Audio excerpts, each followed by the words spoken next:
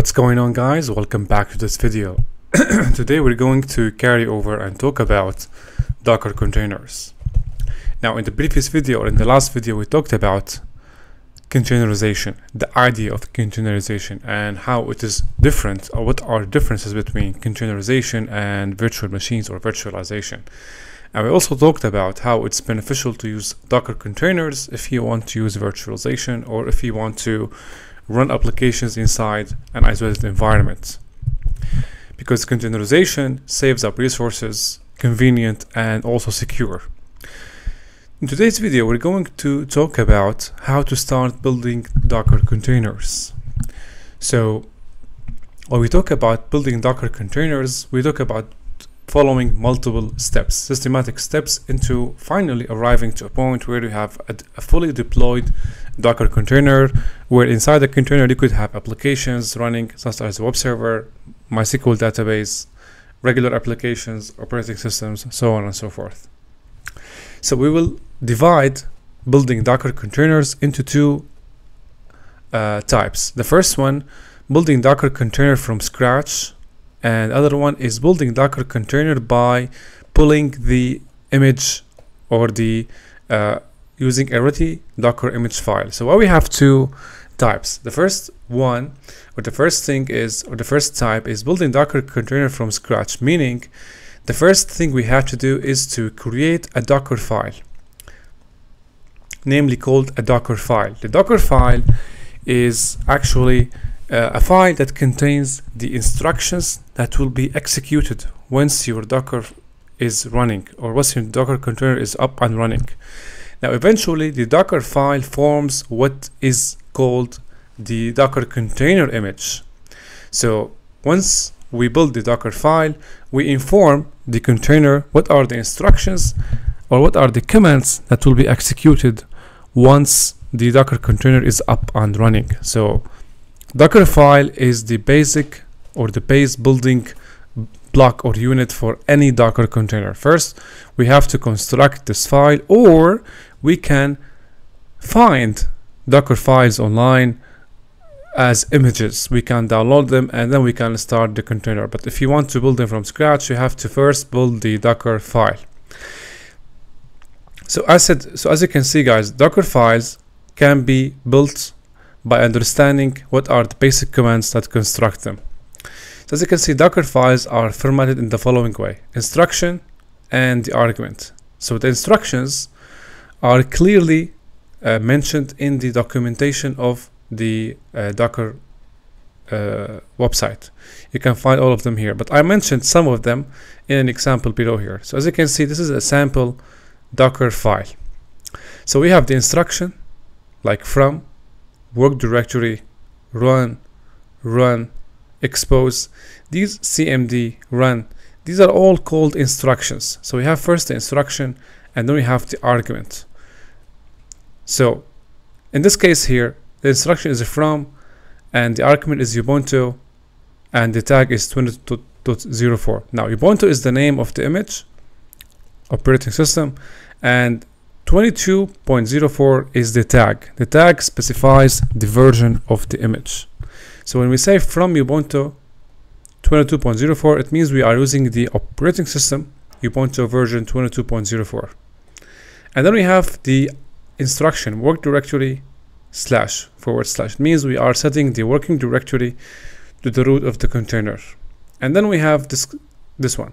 So the instruction is run and apt dash get update dash y. This is a command, okay, that gets executed. So as you can see, I have explanations here. So run executes a command. So what we're doing here, we execute, we up, updating the apt repository. And then here, we use the same instruction run to install Apache. So as you can see, when we say run, we are executing a command. The command here is a Linux command. So depending on the operating system that is specified in the from instruction, the command follows. So if you are if you set the operating system to be Windows, you have to use Windows commands here.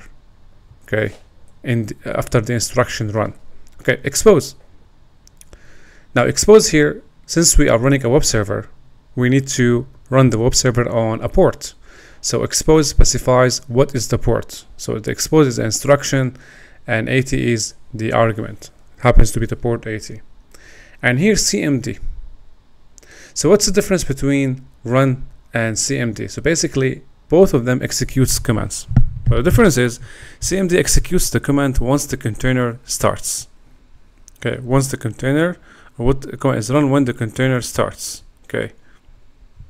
So this is the ready docker file. Now this forms the image of the docker container we want to build. Okay. Once the docker file is ready okay we are now uh, ready to proceed to the next step. So once we prepare the docker file we need to build the docker container so the next step is building the docker container. So say that we have named the image or the docker file as yeah so we, you can rename it uh, whatever you want. Then we build the docker container. We use the following command docker build. Docker build builds the container with the docker file we just created. So docker build dash t. Now dash t here we give a name to the docker container say we name it test docker dot specifies the path to the docker file we created in this case it exists in the current working directory. If it doesn't exist in the current working directory, you can specify the path here uh, to the Docker file. Once we execute this command, we have successfully built the Docker container. We will see that in the practical scenario. Once we build the Docker container, or once we have created the Docker file, build the Docker container, now it's time to run the container. Okay. Now we run the container using the following command docker run runs the docker container dash t dash t runs the docker container in a detached mode meaning we run it in the background dash dash name apache web server. Here we clearly specify a name for the docker container. I know we previously specified test docker but here if you want to change the name you can use dash dash name. Dash p 8080 specifies the port which the Docker container will use. Since we are running a web server image, okay, we use port 80 so that the Docker container listens on port 80. Test Docker, this is the Docker container we built, okay. Now remember that when we built the Docker container, we named it test Docker. So here we specify the name test Docker, meaning we specifying that we want to run the Docker container named test Docker. Alright, so these are the three basic steps. So first, we build the Docker file, the image. Next, we build then the Docker itself, and then we run it. Okay. Now the rest are syntaxes uh, for the uh, command itself. Alright. Now, say you don't want to, or you don't know how to build a Docker file or an, a Docker image.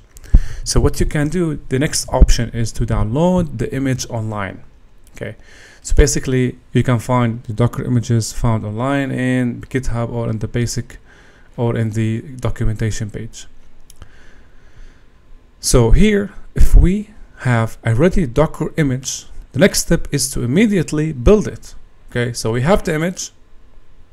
Now it's time to build it. But how do we pull the image? How do we download a Docker image? So we have to use the command docker pull. Docker pull downloads an online uh, Docker image. So Docker pull and then we specify the name of the image. That's the name it goes by and that is the version of it. Okay, so Ubuntu latest. Or we specify the, the version 22.04 or we say latest. So after everything after the column specifies the tag of the image. The tag specifies, as we said earlier, it is the uh, version of the image. So once we have pulled the image, okay, and we know where we stored the image, now we go back to the earlier steps where we start to build the Docker container. Docker build dash t, test Docker, and here with the path to the image. So that's it. That's how it works. Now next we will come up to auditing Docker images. So say we have built the Docker image, we built the Docker itself, and finally we run the Docker. Now it's time to find out whether the Docker has been successfully uh, built and run. So we can use the Docker image ls. It will list all of the available uh, Docker images we have created. We can remove a specific image using this command docker image rm and we specify the image itself and the tag. Alright, so let's first start by listing all of the available Docker images. Docker image ls.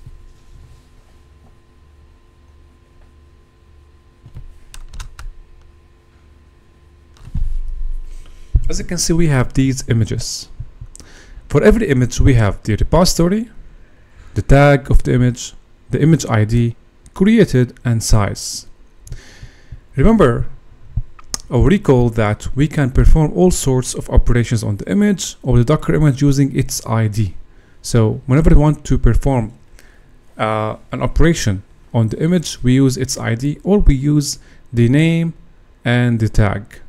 Just like we mentioned earlier, if you want to remove a Docker image, we can say Docker image rm and say web server latest. This command would remove the first Docker image. Alternatively, you can specify the image ID itself.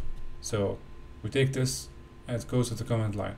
If you want to take a look at all of the operations we can perform on the image, you can say docker image and it will give you the help menu on what sorts of commands you can use, what sorts of operations you can perform on these docker images. Starting from listing, removing, adding, so on and so forth.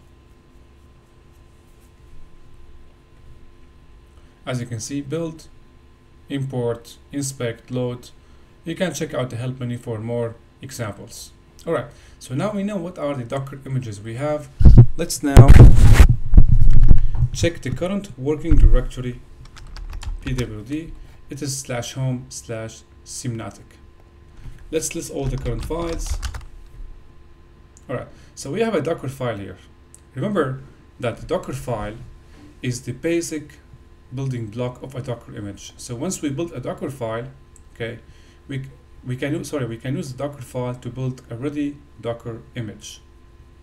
So let's take a look at the Docker file and its contents. Remember that this is the first file that we have to create if we want to create a Docker image. So cat Docker file. Let's take a look at the file. So from Ubuntu, here we specify the operating system run, we execute the command apt update, we apt we update the apt repository, and then we install Apache and its utilities. So basically, guys, as you can see here, the commands apt update and apt install they are chained together with double ampersands. This is very effective if you want to minimize the build time of the Docker and make it fast. And then we run echo. As you can see, this is this displays uh, an HTML page and store it at index.html. And then it exposes or it makes the web server listens on port 80 and then it executes the command at the start of the container. So we have now a Docker file that is ready. Okay, we have built now a Docker file. Now it's time to convert this Docker file into a container. So the next step is to build the container. So we use Docker build. Okay, we specify a name for the Docker container. Say we name it Apache server. Okay. And then we specify the path that contains the Docker file or the image. In this case, it is the current working directory, so we use dot. As you can see now, this output demonstrates that the build or the building of the Docker container has been performed successfully. Okay, successfully tagged Apache server latest. So now let's take a look at the current Docker images. So Docker image ls. As you can see now, the Docker file we created now transformed into an image, Apache server, right? This is the image now, and it's, this is the ID, and this is the time created 21, 21 seconds ago, and this is the size and the tag latest. Now after we built, created the Docker file, built the image, it's time now to run the Docker container. Okay, so Docker run dash dash name Apache, um, say we name it web server. Okay, and then we specify port. So if we go up you're not expected to memorize all the commands so you can come back to the notes. So p8080 so you use p8080 and then we specify the image. So the image is this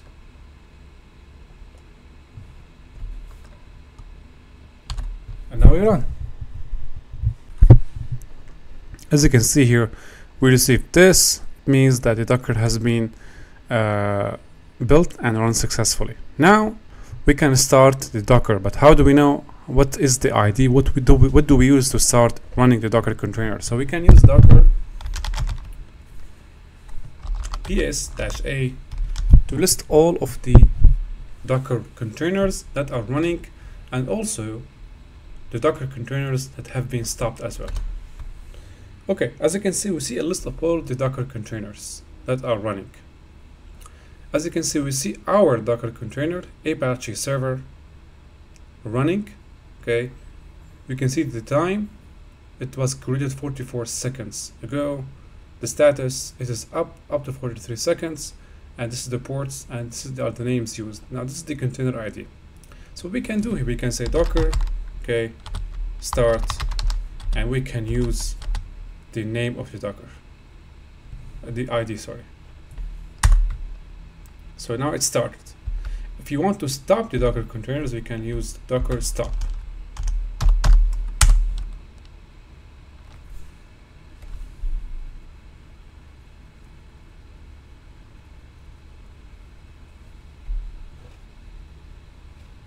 So now let's go back as you can see here when we listed the available docker containers we see our docker container apache server now exited four seconds ago.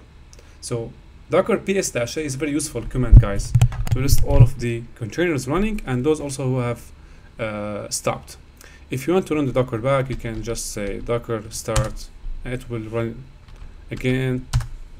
So now it is up two seconds these are very essential uh, basic operations you have guys to be familiar with if you want to uh, be be kind of fluent when you are pen testing an environment that uses docker containers so these are the basic commands guys that are very common if you want to deal create and configure and run Docker containers.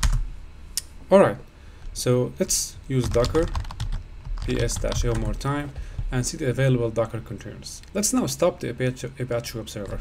Docker stop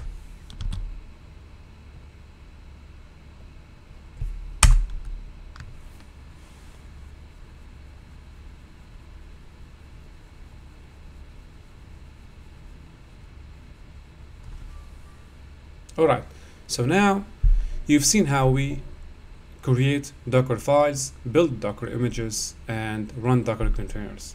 Now it's time to find out how we can interact with Docker containers. So now we know that a Docker container is running, but it is running in the background. I want to interact with this Docker container. So what, what should I do? I can say docker run dash it, which is a mode or an option we can use to interact with the container. Then we specify the, the image. So the image is Apache server. Okay.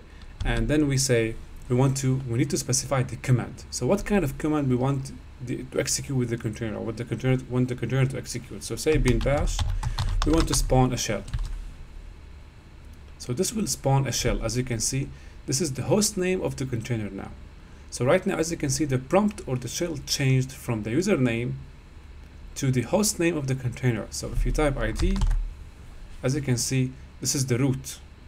Now, many times or oftentimes we see this when we pen test Docker containers. We land on our server or a target machine and we see this prompt and we think that we rooted the machine, but in fact, this is not the actual root user. However, it is the host name of the Docker container. So this is the root of the container. pwd will display the, the, the, working directory of the container ls-la will list all of the containers files so the the existence of the docker environment means that we are inside a docker container so now it's uh, in during pen testing, when we see this, okay, we are definite that this is a Docker container. Okay, uh, so basically, if you are pen testing, your objective is to escape this Docker shell, this one. Okay. Um, if we cat the Docker environment file, so there is nothing inside Docker environment file. If we run Docker commands ps dash a so as you can see, command not found because we are inside the Docker itself. We have to escape the Docker shell to be able to uh, list all of the information about the running and stopped Docker containers. So if you scroll down here in the notes, I have listed all of the all of these indications that you are dealing with a Docker container in this paragraph. The concept of pen testing Docker containers, how they are compromised, uh, indications of a Docker container, the existence of the Docker environment file, how to enumerate,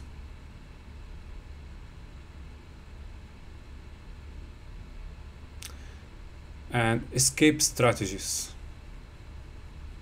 So from the perspective of pen testing, when we see this, we are inside Docker container. The objective is to escape it. Okay guys, so this is how we create and run Docker containers. Now sometimes you want more complex use cases of Docker containers. For example, a Docker container we created was just a simple web server. Sometimes you want to run a complete web application that requires not only a web server, but also requires a database, such as MySQL. So in that case, you will have to create more than one container.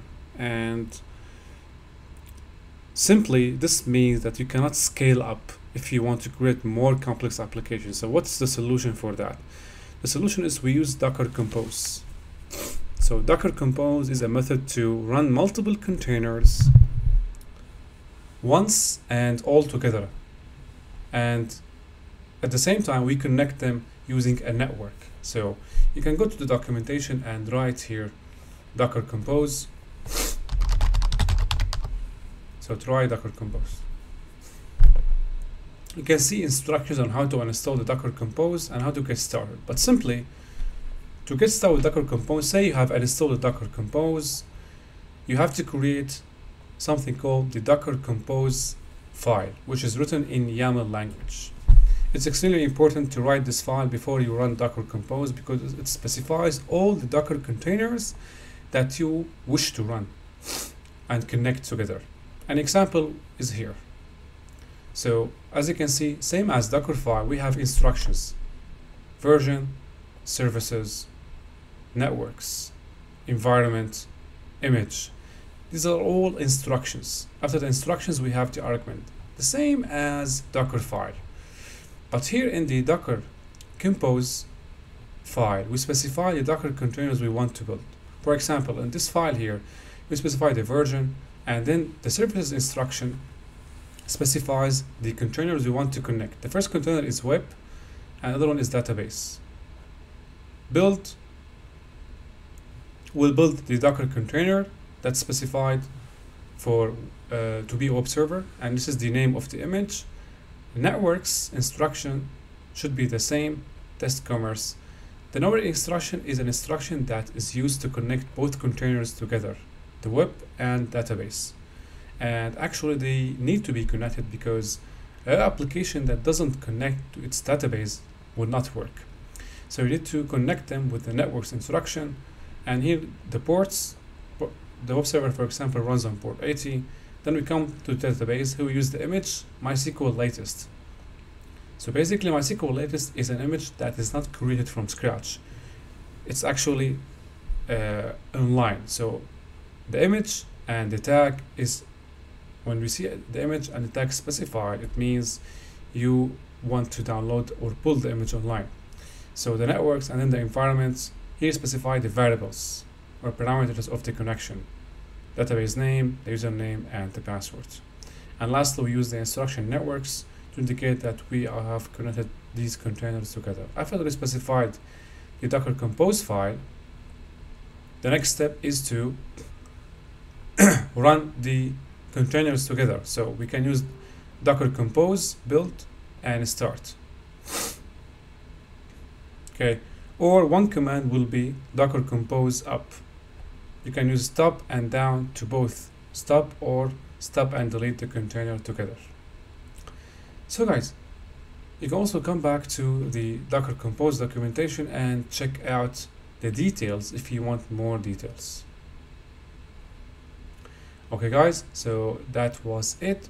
I hope you enjoyed the lesson and I will definitely see you in the next video. Oh, don't forget that you might be asking me how to get these notes. You can subscribe to the channel membership and get access to the online portal in addition to PDF files stored in Google Drive. So that was it guys. I will see you in the next video.